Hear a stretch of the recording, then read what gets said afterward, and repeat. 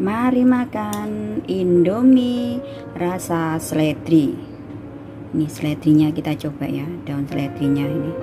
Daun seledrinya kita coba makan dulu sama daun brambangnya. Bismillahirrahmanirrahim. Hmm. Mantap. Dan satu dua Indomie goreng daun brambang, seledri, dan sayuran. Terserah ya, semua sayur bisa dipakai. Aku pakai sayur ini kayak kubis putih itu ya. Masak air, setelah mendidih masukkan indominya. Ini masak kurang lebih 3 menit ya. sambil menunggu ininya dimasak kita tuang bumbu ke dalam mangkok sekali-kali diaduk ya. Nah, kurang lebih 2 menit kita masak kita masukkan semua sayurnya. Ini semua sayurnya dimasukkan ya. Sayurnya dimasukkan semuanya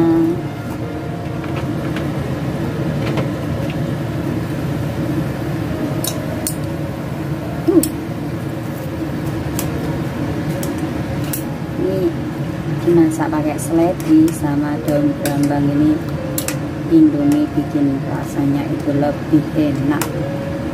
Lebih mantul masak satu menit lagi ya. Setelah sayur dimasukkan jangan terlalu lonyot. Jadi antara indomie dan sayur itu masaknya kurang lebih sama ya 3 menit. Sayurnya kurang satu menit dimasukkan. Jangan terlalu lonyot. Nggak enak nah selesai teman-teman. Kita ambil pakai saringan ya. Ini kuahnya jangan dipakai ya. Kuahnya dibuang. Nanti kita pakai air panas.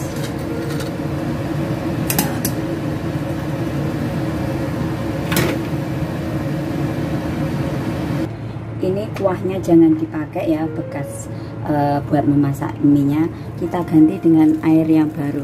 Air kremos atau air mendidih kita kasih air sedikit saja. Nah minyak sudah siap disajikan. Hmm harum. Harumnya dari daun brambang dan seletinya itu terasa banget. Ayo kita waktunya makan.